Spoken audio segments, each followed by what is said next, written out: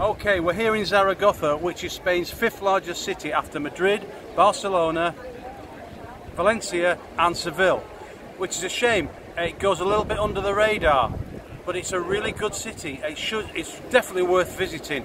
The Casco Antiguo, the old town, is cram-packed with bars and narrow streets. The rest of the city is really quite wide open spaces and nice wide boulevards and avenues. It's a beautiful city with lots of interesting things to see and do.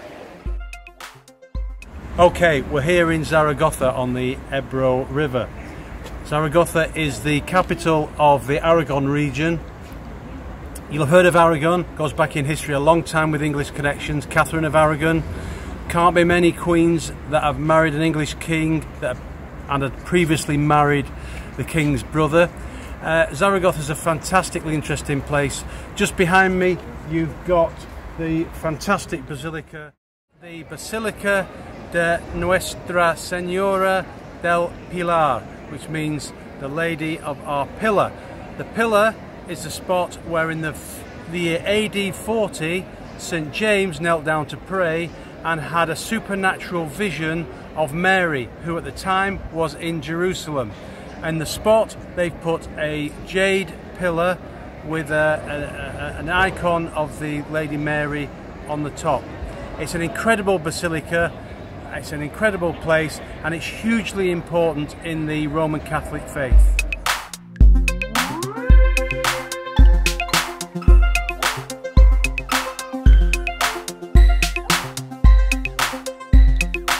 The basilica obviously was built on Roman foundations and clearly in the past, and there are obvious references to it, it was a mosque before it was built into this really impressive building we see today.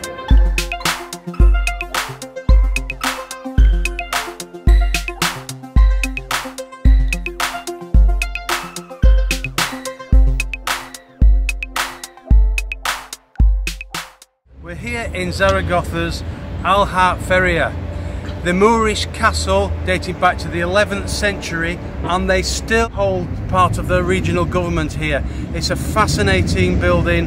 Uh, the caliphate was run from here, the separate caliphates, and it's an incredibly interesting place.